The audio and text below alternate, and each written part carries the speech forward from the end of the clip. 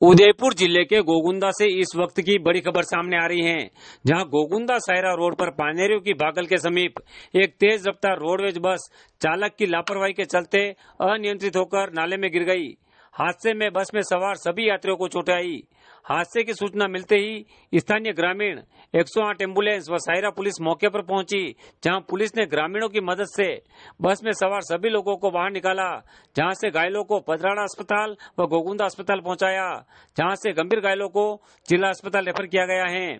दुर्घटना के पीछे चालक की लापरवाही को जिम्मेदार माना जा रहा है, क्योंकि वह बस को तेज गति से चला रहा था। बताया जा रहा है कि जोधपुर डिपो की यह बस जोधपुर से उदयपुर की ओर जा रही थी। हादसे के बाद गोगुंदा सायरा मार्ग बाधित हो गया है और मौके पर पहुँची सायरा पुलिस यातायात को सुचारू करने के प्रयास में जुटी हुई है।